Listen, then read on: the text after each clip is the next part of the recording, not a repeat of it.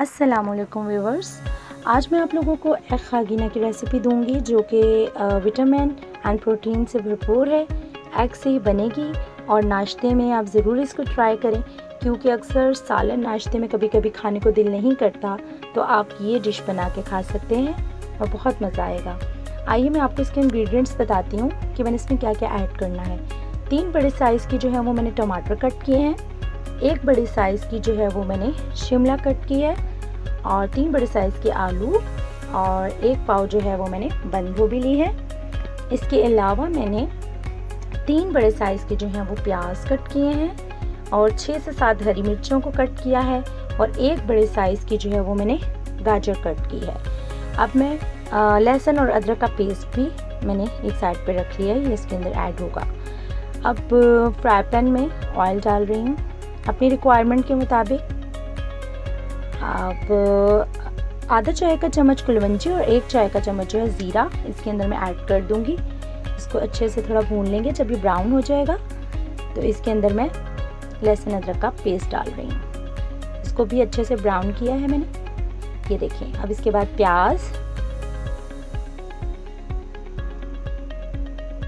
और टमाटर। इन दोनों चीज़ों को डाल के मिक्स करूँगी अच्छे से।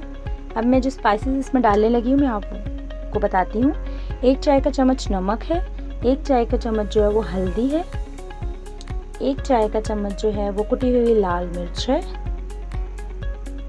आधे चाय का चम्मच जो है साबुत लाल मिर्च है, एक चाय का चम्मच सूखा धनिया और एक चाय का चम्मच काली मिर्च। ये तमाम चीज़ें मैं इसके अंदर ऐड कर दूँगी। अपने रिक्वायरमेंट के मुताबिक आप स्पाइसेस ले सकते हैं। ये देखें बाकी गाजर भी मैंने इसमें पहले ऐड कर दी क्योंकि गाजर गलने में थोड़ा टाइम लगता है, इसलिए गाजर को पहले मैंने डाल दिया थोड़ा सा और ये देखें, इसमें मैंने छः एग लिए अपने रिक्वायरमेंट के मुताबिक आप लोग अपनी मर्ज़ी से ले सकते हैं। ये देखें, गाजर अच्छे तरीके से थोड़ी गल चुकी है बाकी तमाम जो चीज़ें मैंने काटी थी, वो मैं सारी इसके अंदर डाल दूँगी एट अ टाइम ये देखिए अब इसको अच्छे से हिलाऊँगी कवर कर दिया थोड़ी देर मैंने। अब इसका कवर हटा के देखा है मैंने। कि ये पक रहा है।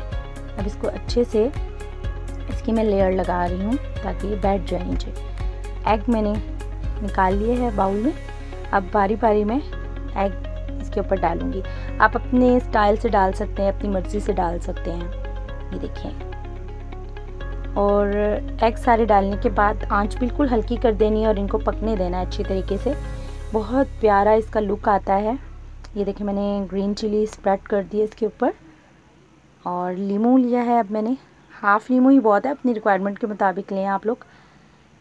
ये देखें, लीमू छिड़क दिया, अब कोरिएंडर लिया है, वो भी इसके ऊपर मैं डाल दूँगी। ओके, आग बिल्कुल हल्की रखनी है और उस पर इसको पकाते रहना है। देखिए ढक दिया मैंने थोड़ी देर। ये देखें, और ये पक चुका है, इसके ऊपर मैंने काली मिर्च स्प्रेड कर दी है। और ये देखें, अच्छे तरीके से ये पक चुका है। अब ये देखिए, मैं इसको कट कर रही हूँ। आप अपनी मर्ज़ी से कट करें, चाहे तो पूरा निकाल लें, चाहे पीसेस में कर लें, ये आप लोगों की अपनी मर्ज़ी है। जिस तरह मर्ज़ी डिश आउट कर सकते हैं आप लोग। टेस्ट इसका बहुत मज़ेदार बनेगा। ये देखें मैंने आपको डिश आउट करके बताया है। आप लोग इसको ज़रूर ट्राई करें, ज़रूर बनाएँ। डिफरेंट डिफरेंट चीज़ें बनाते रहना चाहिए। ताकि आप लोगों को एक नया टेस्ट मिलता रहे। और मेरी वीडियोस को प्लीज़ लाइक करें ज़्यादा से ज़्यादा। मुझे कमेंट्स करके ज़रूर बताया कीजिए कि आप लोगों को मेरी वीडियोस कैसी लग रही हैं और क्या मज़ीद आप लोग चेंजिंग्स चाहते हैं।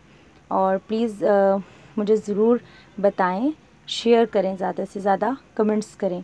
और और क्या चेंजिंग आप लोग और चाहते हैं वो भी मुझे ज़रूर बताइए। Thank you so much